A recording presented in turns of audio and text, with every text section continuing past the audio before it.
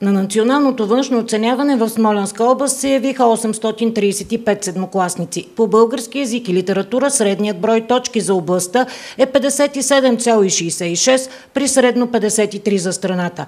По математика средният брой точки за смолянските ученици е 38,14 при средно 33,62 за страната. По български язик и литература сме на второ място след София град. По математика тези резултати ни поставят на трето място, като на първо място е София град, на второ място Варна. Тези резултати показват, че обучението в електронна среда в областта е протичало нормално, посочи още Семерджиева.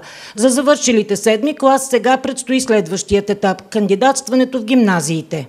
Отново се обръщам с апел към всички ученици и родители да кандидатстват чрез електронната платформа, за да няма струпване на ученици и родители в училище, но все пак, ако някой има нужда от консултация, училището, което е определено за гнездо, е Природо-математическата гимназия в Смолян. Първият етап от приема на документи ще продължи от 3 до 7 юли.